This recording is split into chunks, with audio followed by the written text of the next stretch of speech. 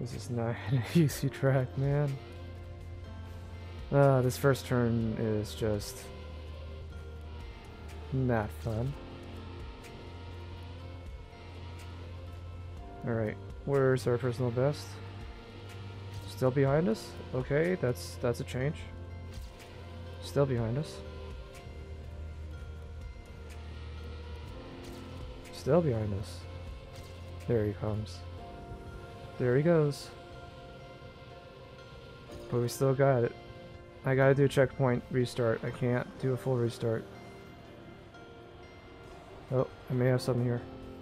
I may have something here. Yes! Author. Finally. At a 43.8. Top 225.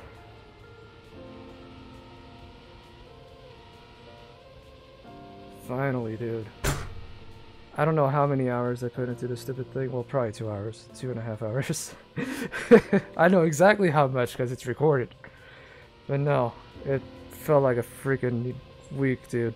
It felt like a week trying to break this track. That was really just like about three hours or so. Just a little bit there. Getting so smooth on that ice, and then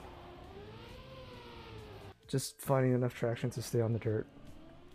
Save it, because I don't want to play it again.